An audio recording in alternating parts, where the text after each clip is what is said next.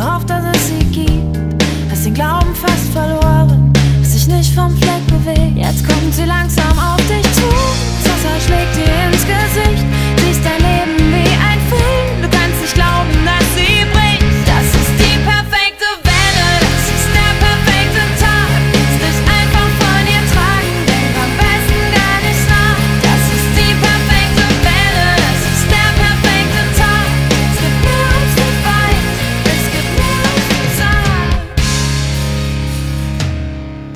Hände sind schon taub, das Salz in deinen Augen, zwischen Tränen und Staub, fällt es schwer noch dran zu glauben.